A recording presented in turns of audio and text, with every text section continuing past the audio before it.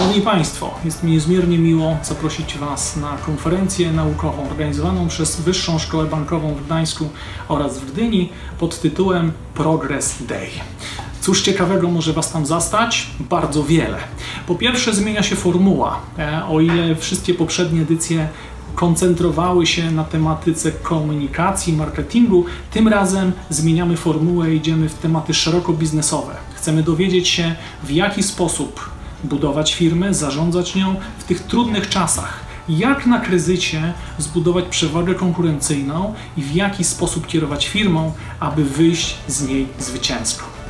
Do tego celu zaprosiłem czterech wybitnych ekspertów, którzy nie tylko pomogli swoim firmom przetrwać pandemię koronawirusa, ale również pokazali, że sytuacja kryzysowa może być fantastycznym kapitałem do zbudowania dla firmy.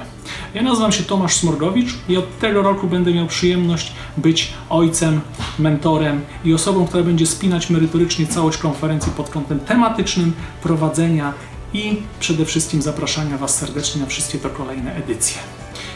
Nie zaskoczę Was na pewno również tym, że jesteśmy w internecie. Jak wszystkie konferencje przenosimy się do online'u, co jest tylko dla Was ułatwieniem, dlatego że możecie z każdego miejsca, z pracy, z domu, czy skądkolwiek chcecie posłuchać i popatrzeć na naszych wspaniałych panelistów i na wywiady, które będę miał przyjemność prowadzić razem z nimi. 14 października to bardzo ważna data, między godziną 11 a 15 musicie być gotowi, mieć słuchaweczkę, mieć monitor, mieć komputer i podsłuchiwać nas właśnie wtedy. Zapisy tu, tu, tu lub tu. Nie wiem gdzie wyskoczą, mam nadzieję, że Wy już to widzicie i na pewno bez problemu zapiszecie się na to właśnie wydarzenie. Progress Day, szósta edycja. Do zobaczenia.